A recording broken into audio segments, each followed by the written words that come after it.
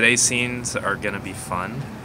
Uh, we have some people getting killed, and I think it's going to be a, a really good day. The special effects looks awesome, and we're going to get rid of some bad guys.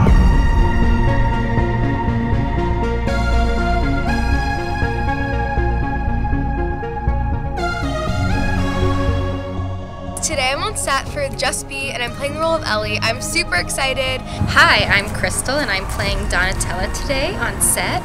Yeah, it's really fun to get to bring that to life and kick some guys' butts. Can I say it? I can say butts. That's mine.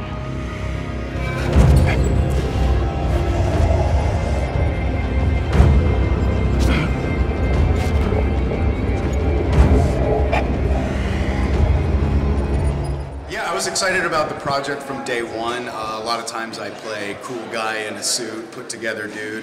But this time I get to play that character, but the creepier, deadlier versions. And we just got my nice lion necklace put on. So I'm excited to bring the lion, bring the roar.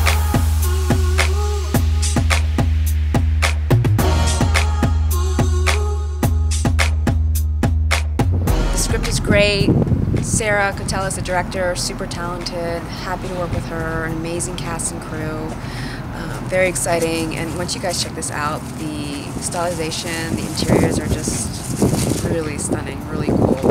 Um, I'm having a blast. Thank you. Thank you for allowing me to be evil.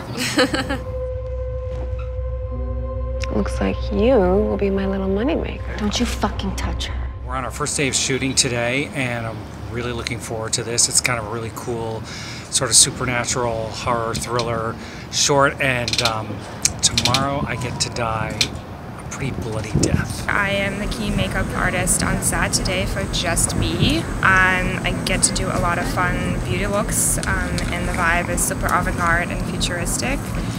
And later in the day, I get to kill someone as well. Um, yeah, I love it. Um, Sarah and I have worked together before, and I'm super excited to be here.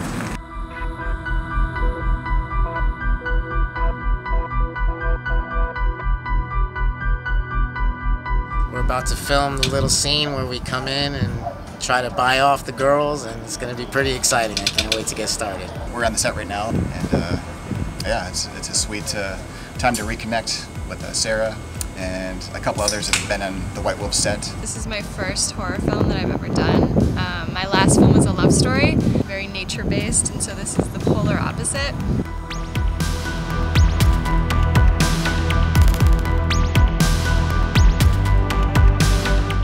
The idea came to me one night, and I was uh, thinking about a situation where two young girls were in.